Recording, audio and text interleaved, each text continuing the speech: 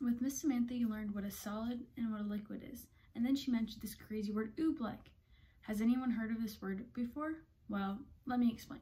Oobleck is a substance that can have both qualities of a solid and a liquid. It can feel solid when you hold it in a ball, but then when you let go, it becomes a liquid.